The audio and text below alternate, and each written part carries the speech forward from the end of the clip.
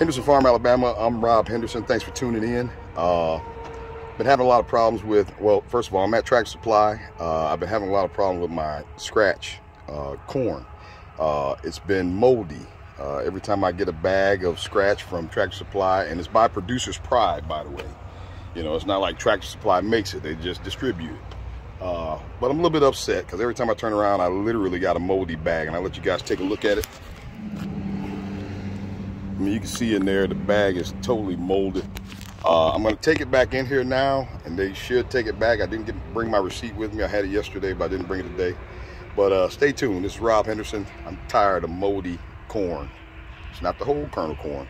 It's the crack corn. Stay tuned.